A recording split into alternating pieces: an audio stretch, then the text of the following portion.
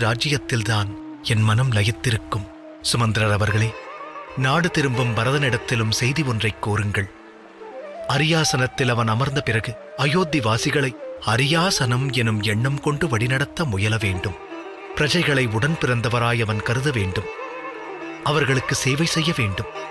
இது எம்முடைய வேண்டுகோள்.